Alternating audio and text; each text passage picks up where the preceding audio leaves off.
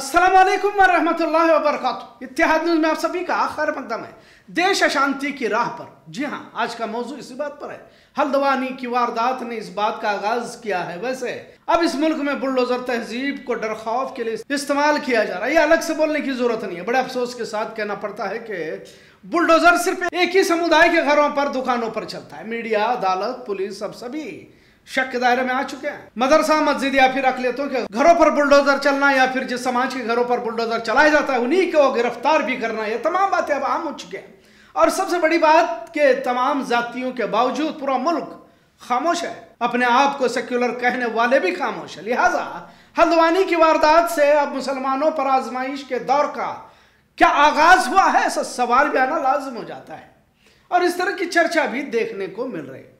मुफ्ती सलमान अजहरी की गिरफ्तारी के बाद एक तरह से जो मसला के अख्तलाफ देखे जा रहे थे, कहीं तो भी ख़त्म होते भी नज़र आ रहे हैं। मुस्लिम मौलवियों को भी मुतहिद करने का काम इस गिरफ्तारी ने किया ऐसा कहना गलत ना होगा। आज का मौजू इन्हीं पहलुओं के इर्द गिर्द कह सकते हैं। पहले बात हल्द्वानी की करते हैं, फिर आज के बरेलवी की सड़कों पर उमड़ी भीड़ और मौलाना तोकिर रजा की प्रेस कॉन्फ्रेंस ने मोदी हुकूमत को क्या पैगाम दिया? इस पर भी बात करते हैं। भारत की खुफिया एजेंसी, पुलिस, इंतजामिया यहाँ तक अदलिया, तमाम हिंदुत्व के लिए काम कर रही है। ऐसा इल्ज़ाम मौलाना तोकिर रजा ने आज प्रेस कॉन्फ्रेंस के ज़रिए लगाया। खैर, बात हल्द्वानी से करते हैं। उत्तराखंड की धामी हुकूमत ने अभी एक्शन सिविल कोड नाफिज करने का ऐलान किया था और बिल को मंजूरी भी दे दी थी। कुछ धामी हुकूमत के कायदों ने इसी हफ़्ते में इस बिल को नाफिज करने की बात भी कही थी। सभी जानते हैं कि इस बिल को लेकर मुसलमान पहले से मुखालफत करते आए हैं। उत्तराखंड में क्या वैसे भी पूरे मुल्क में बुलडोजर तहजीब के ज़रिए से डराया, धमकाया जा रहा है? अक्सर ये भी कईयों को कहते हुए देखा गया कि अदालत का काम अब पुलिस कर रही Bajrang Dal R S S VHP के दबाव में किसी भी बेगुनाह पर मुकदमे दायर करना या किसी के भी घर पर बुलडोजर चलाया जा रहा है इससे पहले भी हमने कई मौजुओं पर कहा है कि किस तरह से इस लोकतंत्र पर भीड़ तंत्र गाली मारा। है आज मौलवी तो रजा ने खुलेआम कहा कि बजरंग दल आरएसएस के गुंडों को मुसलमानों ने जवाब नहीं दिया, इसलिए आज इस तरह के हालात रूनुमा हुए हैं। लिहाजा उत्तराखंड के बनभुलपुरा की एक मस्जिद और मदरसे पर बुलडोजर घुमाने के लिए पुलिस फोर्स और इंतजामिया के साथ मुकामी अफसरान भी वहाँ पहुँचे और उस बुलडोजर चलाने की तहरीक में वो शरीक भी रहे। लिहाजा वहाँ के आवाम ने इसकी मुखालफत की और महज मुस्लिम दुश्मनी में इस काम को अंजाम दिया जा रहा है, ऐसा कहा गया। पुलिस और आवाम के दरमियान झड़प हुई। पथराव की वारदात भी पेश आई। पुलिस ने गोलियाँ चलाई जिसमें छह लोग मारे जाने की इतला हासिल है। जब पुलिस ने फायरिंग की तो आवाम और भी गुस्से में आ गई। और हासिल इतला के मुताबिक पुलिस वालों पर भी हमला किया गया, जिसके बाद पुलिस थाने को भी नज़र आतिश किया गया। भीड़ के गुस्से को देखते हुए पुलिस और प्रशासन को भी वहाँ से भागना पड़ा, ऐसा बताया गया। खैर, अब इस फसाद पर तबसरा किया जा रहा है। क्या वाकई पुलिस को गोली चलाना ज़रूरी था? ऐसे सवाल भी अब दरपेश है। हल्द्वानी में कर्फ्यू लगाया गया कईयों को हिरासत में लेने की बात कही जा रही है। तीन सौ अफराज जख्मी होने की भी बात कही जा रही है। हल्द्वानी की आग अभी बुझी भी नहीं है। उधर मौलाना तोकर रजा ने जेल भरो आंदोलन का ऐलान किया और कहा कि पूरे भारत में मुसलमानों पर जुल्म हो रहा है। तमाम पुलिस, कोर्ट, अफसरान मुसलमानों के खिलाफ काम कर रहे हैं। लिहाजा पूरे मुल्क में जेल भरो आंदोलन चलाएँगे, जिसकी शुरुआत बरेली से की जाएगी। और इसी के चलते आज जुमा नमाज़ के बाद हज़ारों की तादाद में नौजवानों ने जेल भरो आंदोलन के लिए मस्जिदों से निकलकर मौलाना का साथ दिया और सड़कों पर निकल पड़े और नारेबाजी करते हुए अपनी गिरफ्तारी देने के लिए आगे बढ़े। अब अचानक इस तरह मुसलमानों के अकदाम के बाद पुलिस इंतजामिया और अफसरान भी क्या रद्द अमल किया जाए समझ में नहीं आया। पुलिस ने बजाय हिरासत में लेने के इन्हें आगे जाने से रोकते हुए देखा गया। हज़ारों की तादाद में मुसलमानों का सैलाब सड़कों पर उमड़ने से हल्द्वानी के बाद बरेली में भी फसाद का माहौल देखने को मिला। हल्द्वानी में छह लोगों की मौत के बाद भी आखिर मौलाना ने एहतजाज क्यों किया? और लोग सड़कों पर निकल भी पड़े। इससे इतना तो ज़रूर सामने आया कि मुल्क में तशद का आगाज़ हो चुका है। और अगर इसी तरह माहौल गर्माता चला गया तो आगे क्या तस्वीर होगी? इस पर भी माहरीन अपनी अपनी राय पेश कर रहे हैं। लिहाजा तमाम पुलिस, इंतजामिया, अदलिया सभी को इंसाफ के दायरे में रहते हुए फैसले लेने चाहिए। इस तरह की बात सामने आ रही है। क्योंकि कई जगहों पर एक तरफा फैसले सुनाए जा रहे हैं, या तो पुलिस का एक तरफा रवैया देखने को मिल रहा है। इस तरह से आम बात, एक आम राय आवाम की इस मुल्क में बनती भी जा रही है। मौलाना तोकीर रजा को हिरासत में लिया गया और फिर छोड़ भी दिया गया। मुफ्ती सलमान अजहरी की रिहाई की खबर वायरल हो रही है, पर इसमें सच्चाई नहीं है। इन पर एक नई एफआईआर दायर की गई। अब तो तीन मुकदमों में मुफ्ती सलमान अजहरी साहब को मुलविस किया गया यहाँ तक मुफ्ती सलमान अजहरी का टेरर फंडिंग और पाकिस्तान कनेक्शन तलाशने की कोशिश जारी है। लिहाजा मौलाना तोकीर रजा के आज के अकदाम के बाद योगी हुकूमत भी सोचने पर मजबूर हो गई अभी तो ये शुरुआत है। अगर इसी तरह का माहौल अगर मुल्क में देखा गया तो फिर आगे क्या हालात बन सकते हैं? और इस मुल्क में इत्तेहाद इतमान भाईचारा कैसे बरकरार रह सकता है, ये भी एक सोचने की बात है। इस वीडियो के आखिर में आप तमाम बयान सुनिए जो मौलाना तोकी रजा ने प्रेस कॉन्फ्रेंस के ज़रिए दिया था। इस वक्त सुप्रीम कोर्ट के मशहूर वकील महमूद पराचा भी मौजूद थे, जो भी हो, लेकिन पिछले कुछ दिनों में बढ़ती तशद की वारदातें मुल्क को शांति की तरफ़ ले जा रही है, इतना ज़रूर है। आज का मौजू कैसा लगा, इस पर ज़रूर कमेंट करें। इतिहाद देखने के लिए शुक्रिया। अल्लाह हाफिज। कि हमने अपने नौजवानों को कंट्रोल किया हुआ है, अगर कंट्रोल से बाहर हो गए तो हुकूमत के लिए बड़ी दिक्कतें पेश आ जाएँगी।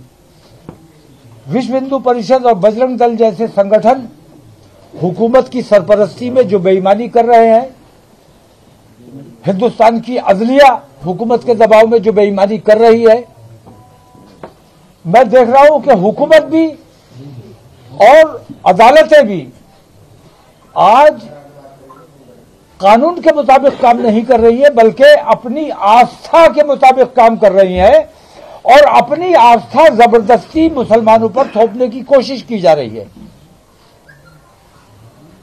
मैं ये कहना चाहता हूँ कि अगर ये जुल्म ज्यादती इसी तरह जारी रहा, विश्व हिंदू परिषद और बजरंग दल जैसे आतंकवादी संगठनों को कंट्रोल नहीं किया गया तो मुल्क के हालात खराब होने का अंदेशा है, जो हम किसी कीमत पर नहीं होने देना चाहते। आज अगर हमारे मुल्क में अमन है, शांति है, उसकी वजह सिर्फ़ यह है कि हमने आज तक उन गुंडों, उन बदमाशों, उन आतंकवादियों का जवाब नहीं दिया है। जिस दिन हमारा नौजवान जवाब देने पर मजबूर हो जाएगा, उस दिन मुल्क के हालात खराब हो जाएँगे। इसीलिए मैंने, जैसे आपने देखा होगा कि गीजर में सेफ्टी वॉल्व लगा होता है। लावा अंदर अंदर बहुत पनप रहा है, बहुत बड़ा ब्लास्ट हो सकता है। मैंने ये छोटा सा काम करके लोगों के जज्बात को कंट्रोल करने की कोशिश की है और सेफ्टी वर्क का काम किया है मैंने। मैंने उस प्रेशर को दूसरे रास्ते से निकाला है ताकि वो जो हमारे शहर का अमन खराब ना हो। हुकूमत को हमारा इसमें साथ देना चाहिए। अगर हुकूमत दंगा और फसाद चाहती है तो हम तैयार हैं। न पुलिस की लाठी से डरते हैं, न गोली से डरते हैं। लेकिन हम अपने शहर के अमन से और अपने देश के अमन को बनाए रखना चाहते हैं, इसलिए हमने जवाब दे दिया है। मेरी मांग यह है कि मुफ्ती सलमान अजहरी को फ़ौरन रिहा किया जाए और ये जो बुलडोजर की कार्रवाई चल रही है, असल में मैं बुलडोजर की कार्रवाई की मुखालफत इसलिए कर रहा हूँ कि ये कोर्ट का काम पुलिस ने अपने हाथ में लिया हुआ है। जब अदालतें मौजूद है, किसी ने अपराध किया है उसको गिरफ़्तार कीजिए, अदालत के सामने पेश कीजिए। अदालत उसे सजा दे या जो भी करे, लेकिन पुलिस जो बुलडोजर चला रही है, हुकूमत जो बुलडोजर चला रही है, इस बुलडोजर के खिलाफ सुप्रीम कोर्ट को सस्ता संज्ञान लेना चाहिए, लेकिन मैं ये देख रहा हूँ कि कहीं ना कहीं सुप्रीम कोर्ट जैसी संस्था सरकार के दबाव में काम कर रही है, और ये हमारे देश के लिए बेहद घातक सिद्ध होगा। अगर देश में अमन चाहिए और भाईचारा चाहिए, जो हुकूमत की भी ज़िम्मेदारी है और हमारे सुप्रीम कोर्ट की भी ज़िम्मेदारी है, तमाम अदलिया की ज़िम्मेदारी है। अगर ये अमन व अमान बनाए रखना है तो बुलडोजर की कार्रवाई बंद होनी चाहिए और पुलिस को जो ज़्यादा इख्तियार दिए हुए हैं, उन इख्तियार में कटौती की जानी चाहिए। जो बेईमानी की गई है, उन बेईमानियों को वापस किया जाना चाहिए। उत्तराखंड में जो बवाल हुआ है, हल्द्वानी में थाना फूक दिया गया वहाँ उत्तराखंड में जो कुछ हुआ है, हल्द्वानी में जो कुछ हुआ है, जिम्मेदार उसके लिए कौन है? धामी पागल हो चुका है। उसने ये देखा कि नरेंद्र मोदी ने, जब वो मुख्यमंत्री हुआ करता था, तब उसने गोधरा कांड कराया, फसाद कराया, मुसलमानों का कत्ले आम कराया, प्रधानमंत्री बन गया। तो अब ये छोटे छोटे मेंढकियों ने भी पैर बढ़ाना शुरू किया है कि नरेंद्र मोदी प्रधानमंत्री बन गया तो हम भी मुसलमानों को सताएँगे तो शायद हम भी प्रधानमंत्री बन जाएँगे। ये तरीके जो है, ये हमारे देश को बर्बाद करने का काम कर रहे हैं। अब किसी किस्म का बुलडोजर बर्दाश्त नहीं किया जाएगा। हम जितना अपने नौजवानों को कंट्रोल कर सकते थे, कर चुके हैं। अब हल्द्वानी में जो रिएक्शन दिया गया है, उसके नतीजे आपने देख लिए। अगर ज़बरदस्ती वहाँ बुलडोजर ना चलाए, धामी उसका जिम्मेदार है धामी के खिलाफ उस एफआईआर होनी चाहिए, उसे गिरफ़्तार किया जाना चाहिए, और जिन लोगों की वहाँ संपत्ति नष्ट हुई है, उन लोगों की संपत्ति धामी की जायदाद जब्त करके उससे उसकी भरपाई की जानी चाहिए। हज़रत हल्द्वानी में पुलिस के द्वारा मारे गए छह लोगों के बारे में भी सामने रिपोर्ट आई है, जहाँ पे मैं रिपोर्ट करके आ रहा हूँ कि छह लोगों को शहीद कर दिया गया उधर पुलिस ने सीधे गोली मार के। पुलिस सीधे ही गोली मारेगी, पुलिस पैर पे गोली नहीं मारेगी।